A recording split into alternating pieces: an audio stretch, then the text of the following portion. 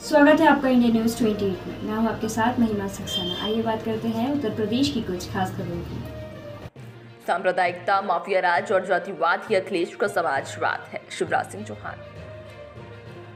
उत्तर प्रदेश की सकल डीहा और ओबरा विधानसभा में मुख्यमंत्री ने जनसभाएँ ली। बता दें कि लखनऊ में अखिलेश का समाजवाद नकली है। सपा के समाजवाद में सांप्रदायिकता, माफिया राज और जातिवाद है। अखिलेश के समाजवाद की अलग परिभाषा है।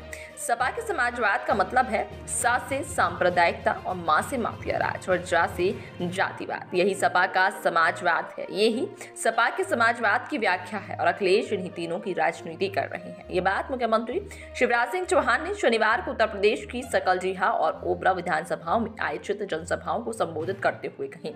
इस अवसर पर भारत सरकार के रक्षा मंत्री राजनाथ सिंह भी मौजूद रहे। वहीं सपा राज में खिलखिला रहे थे। माफिया अब बिलबिला रहे हैं। ये बातें मुख्यमंत्री शिवराज सिंह चौहान ने जनसभाओं में कही। इंडिया न्यूज़ 28 के लिए दीपक बर्थे की रिपोर्ट।